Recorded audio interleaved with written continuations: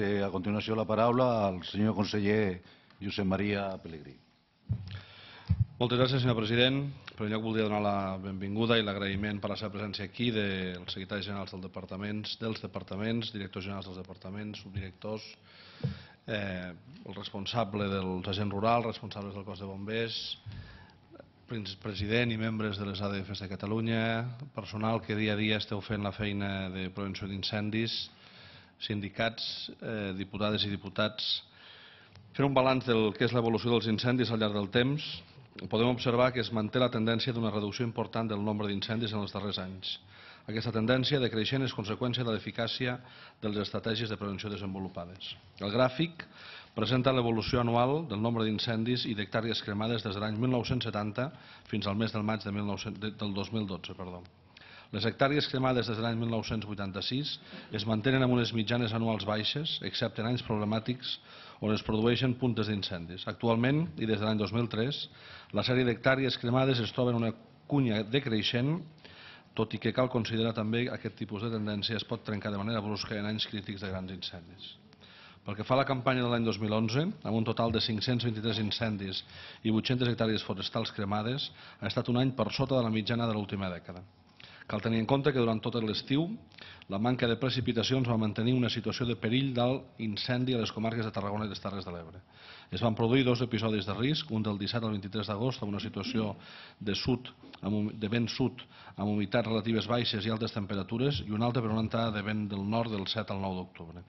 La campanya es va allargar fins a mitjans d'octubre i van ser els mesos de setembre i octubre els que van donar un nivell de perill més alt i en els quals es va donar un nombre d'incidents superior al de la resta de la campanya. Durant aquest any 2012 s'observa com fins a mitjans de març s'anaven succeint episodis amb més perill d'incendi del que és habitual per l'època, com a conseqüència sobretot de la ratxa seca i dels episodis de vent del nord.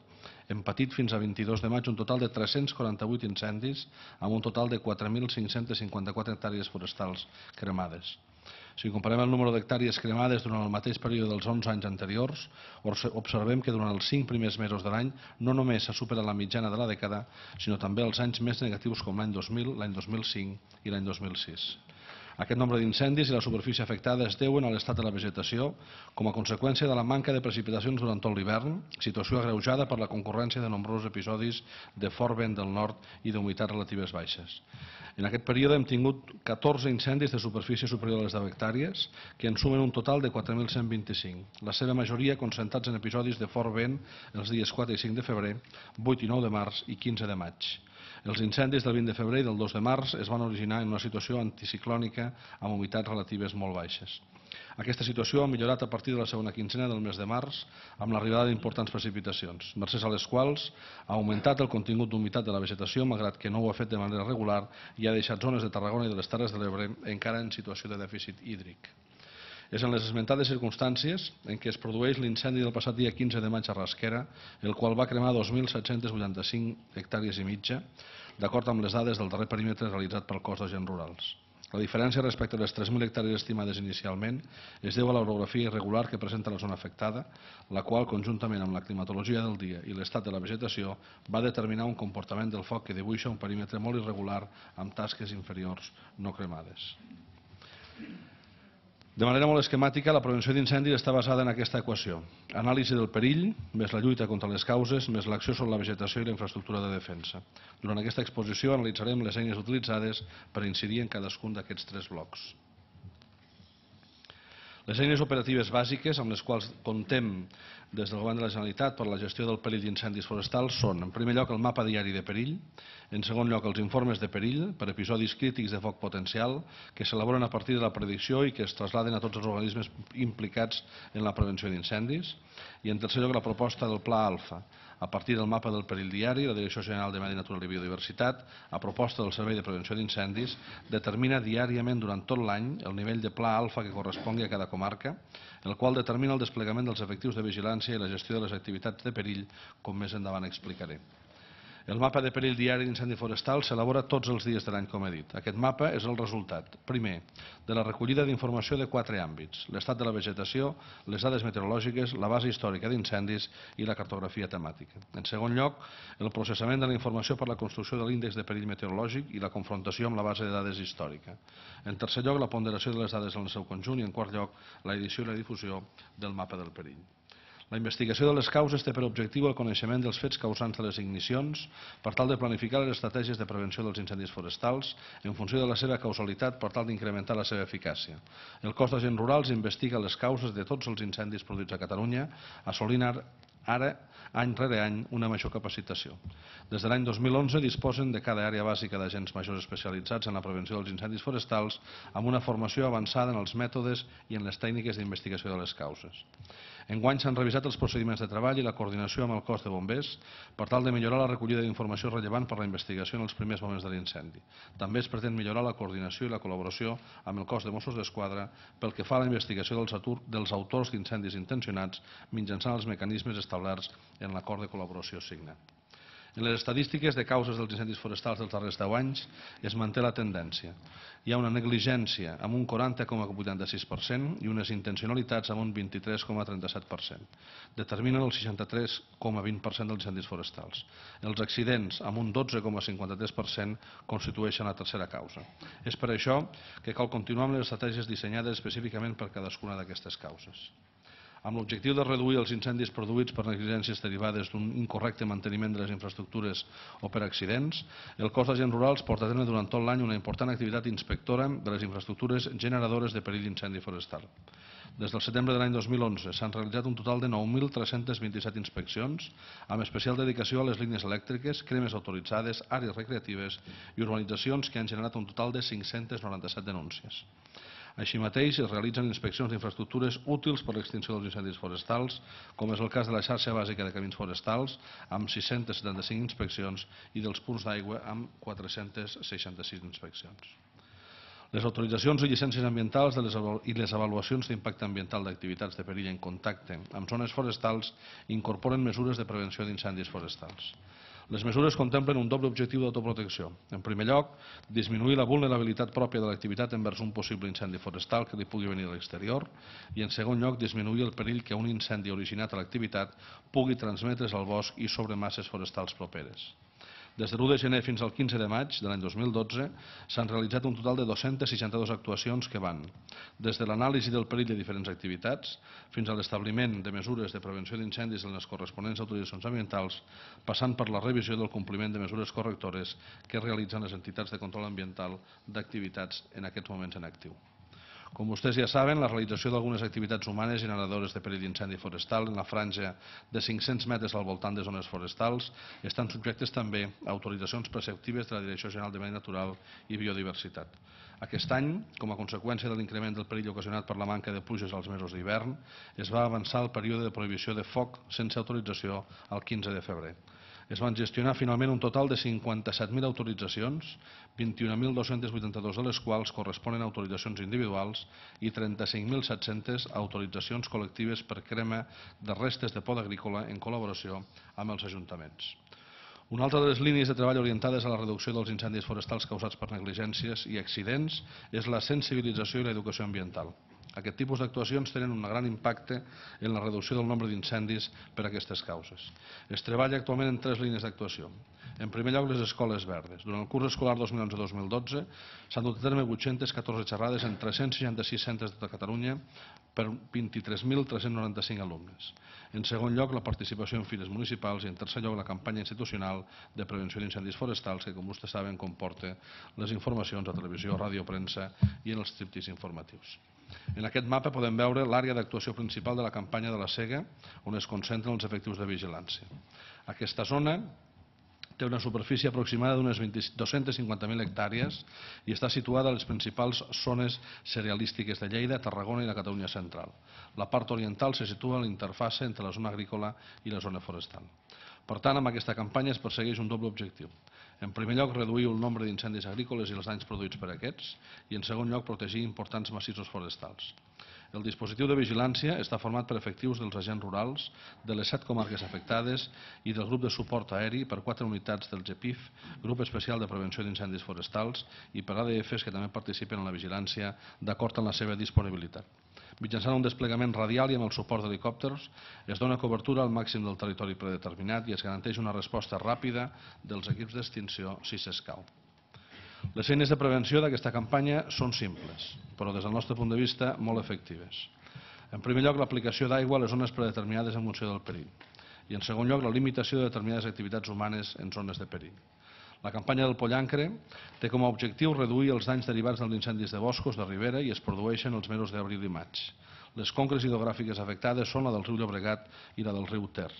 S'actua sobre zones predeterminades en funció de la quantitat de borrissol acumulat i el grau de freqüentació humana durant el període de propagació.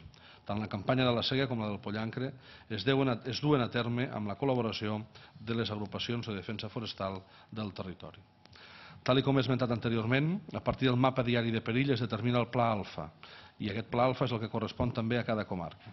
De l'activació del pla alfa en depenen en primer lloc, el desplegament dels efectius encarregats de la vigilància, els agents rurals, personal del Servei de Prevenció Forestal, enginyers forestals, les ADFs i l'establiment de les rutes diàries de vigilància de totes les unitats que formen part de l'operatiu. I en segon lloc, la suspensió, si s'escau, de les autoritzacions per dur a terme activitats de perill. El mapa del Pla Alfa diari es difon mitjançant la pàgina web i per correu electrònic a la resta de col·lectius implicats en la prevenció i l'extinció dels incendis, facilitant així la coordinació amb ajuntaments, diputacions i les agrupacions de defensa forestal. A més del suport econòmic de les ADFs de Catalunya i de la coordinació de la Direcció General de Medi Natural i Biodiversitat amb el Secretariat Nacional de les ADFs, enguany també s'ha articulat la seva participació en les campanyes específiques com la de la Sega i la del Pollancre. S'ha millorat també la coordinació entre les ADFs, el cos d'agents rurals i el cos de bombers, mitjançant la directriu 1 barra 2012 de 28 de febrer del director general de Medi Natural, la qual va comptar amb el vistiplau del secretariat de les federacions de les ADFs, així com també el Departament d'Interior. En relació a la planificació de les infraestructures de prevenció d'incendis forestals, resulta fonamental per argumentar la seva eficiència. A banda de la planificació municipal, la principal eina són els perímetres de protecció prioritària o de sectors de risc. Els PPP són massissos forestals d'alt risc d'incendis delimitats per grans infraestructures. A cadascuna d'elles es redacta un projecte al qual es programen les actuacions a fer al llarg del temps. Dels 34 perímetres de protecció prioritària definits, en aquests moments n'hi ha 7 redactats i 6 en fase de redacció. Donada la variabilitat de les condicions meteorològiques durant tot l'any, ha hagut un increment del perill d'incendi a zones que fins ara era petit, com ha passat aquest hivern al Pirineu. Per tant, és necessari ampliar aquestes figures de prevenció a les zones de menys perill d'incendi a Catalunya, és a dir, al Pirineu. En aquest sentit també s'ha actuat sobre 123,36 hectàrees de regeneració de franges afectades per desastres naturals, 137,52 hectàrees de treballs de noves obertures de franges i 1.540,91 hectàrees de treballs de manteniment de franges existents. Pel que fa a les actuacions silvícoles de prevenció efectuades l'any passat, tant via subvencions com via inversions, les podem observar en el quadre que vostès tenen en la pantalla. El Departament, com s'ha indicat, executa periòdicament diverses actuacions dirigides a disminuir la càrrega de combustible en zones estratègiques. Després de l'execució és necessari el seu manteniment periòdic perquè mantinguin la funcionalitat per a les quals han estat dissenyades. El manteniment d'aquestes àrees es pot realitzar per mitjans mecànics, mitjans animals o cremes prescrites. D'aquestes tres, tres opcions, la del manteniment mitjançant pastura és de les més econòmiques, a més d'oferir altres avantatges. La pastura al bosc incrementa la multifuncionalitat, proporciona llocs de feina al medi rural, compleix una funció ecològica, revaloritza el recurs forestal per les poblacions locals, fomenta la corresponsabilitat en la conservació i promociona un ús ramader extensiu compatible amb la conservació de la natura. Amb aquest objecte, el Departament ha promogut la pastura pel control de combustible i es pretén cercar noves formes de finançament per estendre aquesta pràctica en àrees estratègiques de municipis d'alt risc d'incendis. Altres zones estratègiques d'intervenció pel que fa a la reducció de combustible són també les línies elèctriques i les carreteres. En relació a les línies elèctriques, l'objectiu és minimitzar el risc d'ignició mitjançant actuacions sobre la biomassa dirigides a la prevenció d'incendis forestals produïts per línies elèctriques. I les actuacions concretes que es duen a terme són, en primer lloc, l'eliminació de la possibilitat d'inici d'incendi forestal per contacte entre la vegetació i el conductor del fluid elèctric, En segon lloc, la reducció del perill d'ignició i de la intensitat del foc mitjançant la reducció de quantitativa de matoll. I en tercer lloc, l'aplicació d'una silvicultura de prevenció. Les activitats silvícoles tradicionals, com les aclarides, les estassades, les podes i altres, a més de complir l'objectiu de millora de les masses i per tant afavorir la seva persistència, tenen també un component important de prevenció de riscos, ja que constitueixen una important tasca de disminució de la càrrega de combustible i de l'establiment de discontinuïtats entre els diferents estrats de vegetació. Aquestes tasques silvícoles, per altra banda, afavoreixen l'estat fitosanitari dels boscos, disminuint el seu els peus en pitjor estat, morts o secs i per tant milloren la vitalitat i la resistència dels propis boscos. La campanya de cremes controlades del gener a l'abril del 2012 ha estat especialment complexa per la sequera d'aquests mesos. Això ha afectat l'execució de cremes en alta muntanya, menys del normal, que ha estat completament amb l'execució de les més cremes en parcs naturals, al delta d'Aiguamolls, el Montsant i els ports, i el suport a pagesos, plagues de conill, caragol pomen i els ajuntaments. La Direcció General de Medi Natural i Biodiversitat té prevista l'elaboració d'un pla anual de cremes que incorpori tant les d'alta muntanya com les dels punts crítics de la resta de Catalunya. L'objectiu és disposar d'una xarxa viària estratègica que doni cobertura suficient perquè els mitjans d'extinció puguin accedir als punts d'aigua, a les àrees de baixa càrrega de combustible i a les forests. Aquesta xarxa ha de garantir la mobilitat dels recursos de manera segura i eficaç i, quan correspongui, servir com a punts d'encoratge en les maniobres d'extinció. Els punts d'aigua artificials per a l'extinció d'incendis forestals es constitueixen amb l'objectiu de disposar d'una xarxa d'abastament que permet reduir el temps de desplaçament i de càrrega, així com la seguretat en les operacions. L'objectiu és disposar d'una xarxa de punts d'aigua que permeti una cobertura aèria a una distància màxima de 3 quilòmetres. Aquests punts d'aigua tenen una capacitat mínima de 120 metres cúbics i es constitueixen i es construeixen amb unes característiques que permeten l'accés segur tant dels medis terrestres com els aeris. Com ja he esmentat anteriorment, el cos d'agents rurals du a terme amb caràcter ordinari i abans de l'inici de la campanya la revisió d'aquests punts d'aigua ubicats al territori per tal de comprovar el bon funcionament d'aquestes infraestructures. Actualment, avui en dia, tenim 2.054 punts d'aigua distribuïts per tot el país.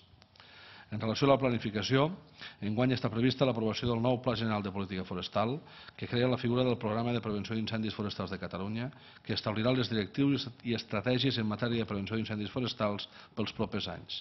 Aquest pla s'establirà en els dos nivells bàsics de planificació, els municipals i els dels perímetres de protecció prioritària. La planificació dels perímetres de protecció prioritària es desenvoluparà mitjançant els projectes d'infraestructures estratègiques de prevenció dels incendis d'aquests perímetres. En la redacció d'aquests projectes hi participen tots els agents afectats, l'administració forestal, els bombers, les administracions locals, els propietaris, les ADFs i els gestors dels espais naturals. Pel que fa als recursos humans destinats a aquesta campanya, cal destacar, en relació als recursos humans estructurals, el cos d'agents rurals amb 515 persones, enginyers forestals amb 40 persones, comunicacions i suport amb 43 persones i el grup especial de prevenció d'incendis amb 13 persones. En relació als recursos humans de reforç i de col·laboració, les agrupacions de defensa forestal amb 7.500 socis i les brigades de l'empresa forestal catalana amb 90 persones i en recursos humans de reforç finançats pel Departament hi ha 6 operadors, 2 tècnics geògrafs, 35 auxiliars, 5 conductors i 2 diplomats. Els aspectes preventius comentats en el bloc anterior de gestió del combustible seguiran constituint aquest any una part molt important del pressupost del Departament per tal de continuar l'execució de les infraestructures planificades pels enginyers forestals i per garantir el manteniment de les ja construïdes. Per tal de millorar els mecanismes de coordinació existents, aquest any s'ha signat un acord de col·laboració entre el Departament d'Agricultura, Ramaderia, Pesca, Alimentació i Medi Natural, el Departament d'Interior i la Diputació de Barcelona, mitjançant el qual es regulen la coordinació de les tasques de prevenció, predicció i vigilància i extinció dels incendis forestals. Així es preveu que en el cas de l'activació del Pla Alfa, les unitats operatives de vigilància de la Diputació de Barcelona, de les ADFs i dels agents rurals configuraran un únic dispositiu de vigilància sota el comandament del cos d'agents rurals. També es preveuen mecanismes de coordinació en la fase de predicció del perill, així com en el moment d'incorporar-se a l'incendi, les ADFs i els agents forestals. Les unitats de les ADFs passaran a dependre funcionalment del cos de bombers des del moment en què s'incorporin a l'emergència per mitjà dels punts de trànsit. Així mateix, la coordinació entre els enginyers de la Direcció General de Medi Natural i Biodiversitat i els especialistes de bombers resulta fonamental per millorar l'eficiència tant de la planificació com de les actuacions de prevenció d'incendis en relació a la reducció del combustible i de les infraestructures estratègiques. I aquest és tot l'informe que jo faig en aquests moments a resultes de les preguntes i del debat que es pugui suscitar després en les seves intervencions. Moltes gràcies. Molt bé, moltes gràcies, senyor conseller.